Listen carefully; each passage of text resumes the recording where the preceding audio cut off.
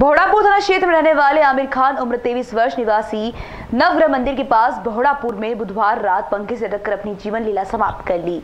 जानकारी के अनुसार आमिर के पिता आयुब खान का कहना है कि उनके पुत्र ने लव मैरिज की थी, तथा उसकी पत्नी मुस्कान से उसका झगड़ा आए दिन होता रहता था। परिजनों का कहना है कि जब वह आमिर के घर पहुँचे तो आमिर के शरीर पर चोटों के निशान थे। किंतु आमिर की पत्नी का कहना है कि आमिर ने आत्महत्या की है। वहीं आमिर के पिता हत्या की आशंका जताई है। वहीं पुलिस ने मर कायम कर शव को पोस्टमार्टम के लिए शवगृह भेजकर जाँच में जुटी है। क्या हुआ? लड़का था मेरा आने का लव मैरिज करी थी। मेरे पास रहते थे तो बहू थी जो मेरे पास रहने के लिए तैयार नहीं थी। अलग पहुँच गए दो तीन महीने से। फिर लड़ाई झगड़ा हुआ। मेरे घर में है ना मारपीट करी लड़की के है ना, क्या नाम है, मामाओं ने भैयों ने और मैयों ने आके।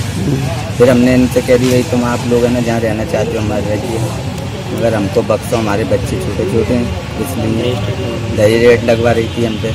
तो ये लोग कहने लगे, थाने द्वारा चली गई, कहने लगे हम एक दूसरे के जो भी कुछ होगा, जिम्मेदार हम होंगे। मेरे लड़के को ले गई, अलग मकान ले लिया। कल कहने लगी, क्या नाम है, ऐसा ऐसा हो गया है।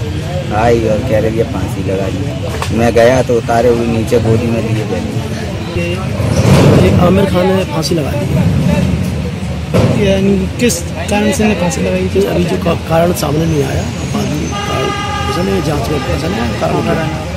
ये कहाँ का रहने वाला है ये? रहने वाला है इस्लामपुरा का और फ़िलहाल मैं पत्नी के साथ में आनंद नगर में किराए से रहता हूँ। सिर्फ़ कार्य क्या करता था? मजबूरी मजदूरी करता है। ग्वालियर से निकेश शर्मा की रिपोर्ट।